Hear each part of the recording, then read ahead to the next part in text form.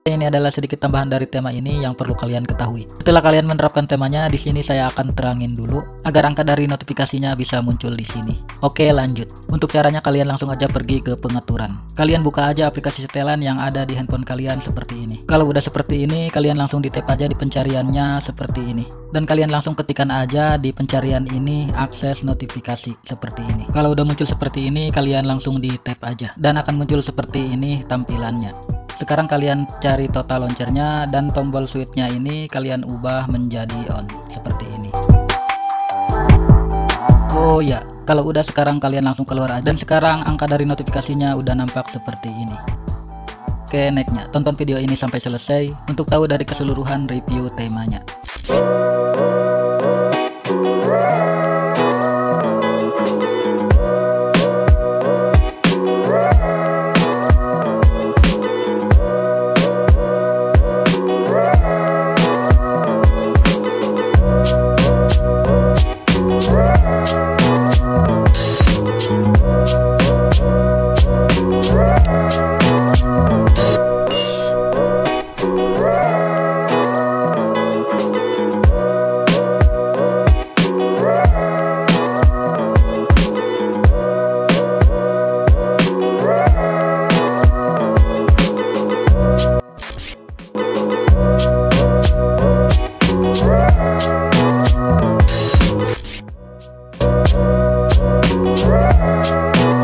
Halo apa kabar semua, kembali lagi di channel ini cara 99 dan kembali lagi di segmen Total Launcher 10 Seperti biasa di video kali ini saya akan membagikan sebuah tema lagi yang sebelumnya saya sudah posting di tab komunitas dan ini adalah tema terbarunya, Setup Total Launcher. Buat kalian yang bosan dengan tampilan HP Android yang gitu-gitu aja, kalian wajib coba tema keren ini. Karena tema ini bisa banget diterapin di semua tipe HP Android kalian. Seperti HP Oppo, HP Vivo, HP Samsung, HP Realme, HP Infinix, dan di HP Xiaomi pun kalian bisa terapin tema ini.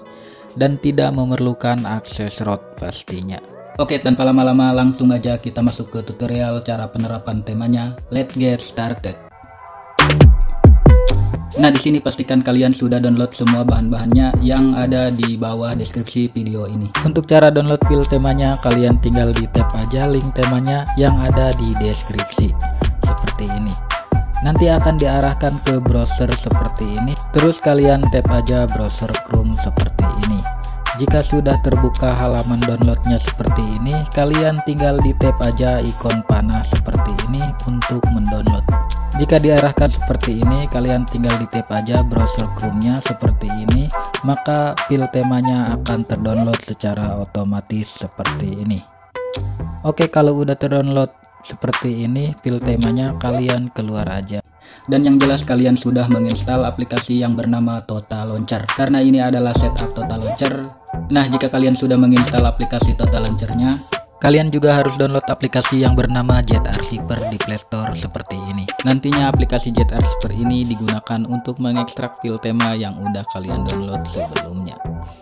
Jika sudah terinstall seperti ini aplikasi Jet Receiver-nya, Langkah selanjutnya kalian tinggal buka folder download kalian untuk mengekstrak file tema yang sudah kalian download. Nah, di sini sudah ada icon pack dan file temanya. Untuk file temanya kalian langsung aja ekstrak. Dan untuk paspornya saya udah cantumkan di video ini dalam bentuk tulisan. Jadi tonton video ini jangan di skip-skip. Oke, kalau udah selesai mengekstrak file temanya dan menginstal aplikasi icon packnya dan kalian tinggal kembali aja seperti ini dan langsung aja kalian buka aplikasi Total Launchernya. Dan kalau udah masuk ke tampilan Total Launchernya seperti ini, langkah selanjutnya kalian tinggal pinshot aja atau cubit layar handphone kalian seperti ini. Dan selanjutnya kalian tinggal tap di bagian menu ini dan kalian masuk ke bagian launcher option seperti ini. Dan di sini ada tampilan seperti ini, silahkan kalian tap di bagian Set Default Home. Kalau muncul seperti ini, kalian tap aja OK. Dan akan diarahkan ke tampilan seperti ini. Dan kalian pindahin aja ke Total.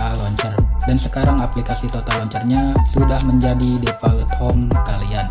Kalau sudah seperti ini, kalian tinggal pinset lagi aja layarnya. Dan kalian kembali tap di bagian menu ini.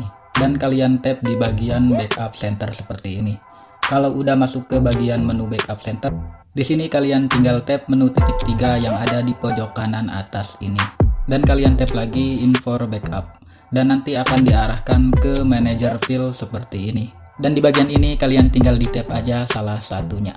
Langkah selanjutnya kalian tinggal cari file temanya yang sudah kalian ekstrak tadi. Oke, lanjut. Dan di sini sudah ada file temanya dan kalian tinggal di tab file temanya yang udah diekstrak tadi. Dan kalau udah masuk ke backup center file temanya, kalian tinggal di tab lagi aja file temanya. Dan di sini ada keterangan restore. Kalian tinggal di tab aja oke, okay, maka penerapan temanya sudah selesai seperti ini. Nah, sekarang temanya udah jadi seperti ini. Samakan tampilannya dengan yang di review di awal tadi. Oke, selanjutnya untuk sedikit informasi aja. Jika kalian saat menerapkan tema total launcher ini, tapi temanya ada yang kepotong atau tidak sesuai dengan layar handphone kalian. Untuk masalah seperti ini kalian tenang aja karena di sini kalian bisa sesuaiin sendiri temanya dengan layar HP yang kalian punya. Untuk caranya kalian bisa tonton video tutorialnya tap di sini. Atau kalian juga bisa cek deskripsi video untuk ke video tutorialnya. Dan jika kalian masih bingung juga, kalian bisa komen di kolom komentar, nanti pasti saya balas seperti itu. Oke, dan buat kalian yang pengen coba tema-tema tata launcher keren lainnya, kalian bisa cek playlistnya di sini.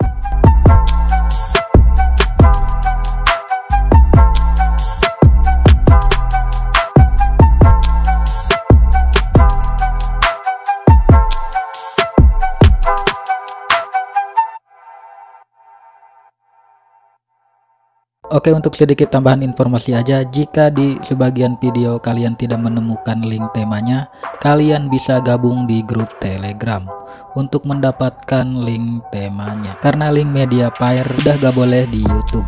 Kalau saya memaksain pin link media player maka akan dihapus youtube secara otomatis linknya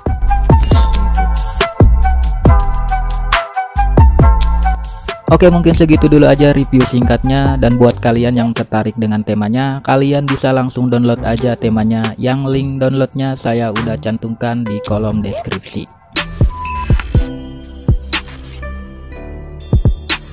Mungkin sekian dulu video kali ini. Buat kalian yang mau nyoba selamat mencoba. Dan jangan lupa juga di share videonya. Share juga tema-temanya biar makin banyak yang tahu soal total launcher dan biar makin banyak juga pengunjung di channel ini. Biar makin rame aja dan yang pastinya di subscribe channel ini. Biar kalian gak ketinggalan tentang update-update video terbaru di channel ini. Dan terima kasih banget buat kalian yang sudah nonton video sampai habis. Thanks for watching